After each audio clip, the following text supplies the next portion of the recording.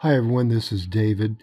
I've been asked several times what's the best way to align page numbers on your table of contents.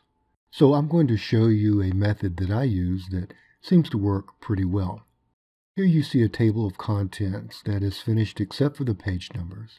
The first thing you want to do is to get the leaders, those are the dots going from left to right, aligned as much to the right as you can.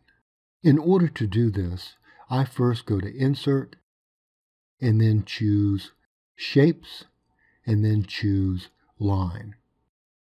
And I draw a vertical line beside the leaders. Holding down Shift will give you a straight line. Now once I have that line positioned about where I want it, I take a look at the leaders and see which ones come up short which ones are too long. Here, this one's too long, so I'm going to delete one leader. This one's a little long, it's touching the line on the right, so I delete a leader. And so you can add or delete leaders in order to get them lined up pretty well on the right-hand side. Once that's done, you delete the line, go to Insert again, this time to Text Box, and go down to Draw Text Box. So I'm going to draw a text box to the right here alongside the leaders.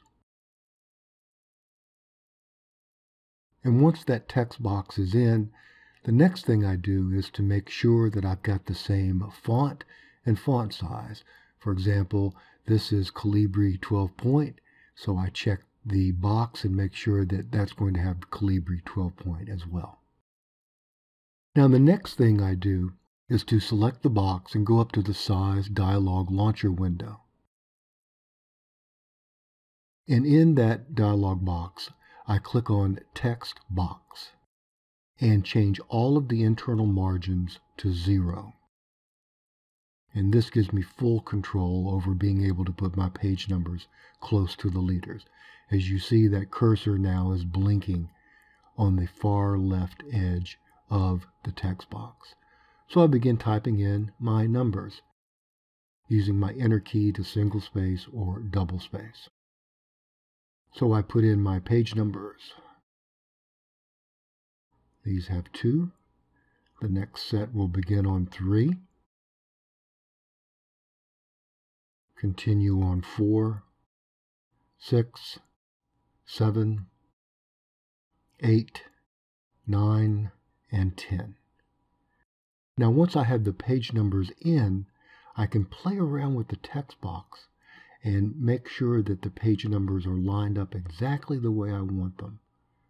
So with the text box highlighted, I hold down the control key and use the arrows on my keyboard to get those numbers lined up exactly the way that I want them. Then, of course, I need to take out the outline by clicking on Shape Outline and selecting No Outline. Then I select the text box again, hold down the control key and use my arrows to align up my page numbers exactly. There you go. That looks pretty good.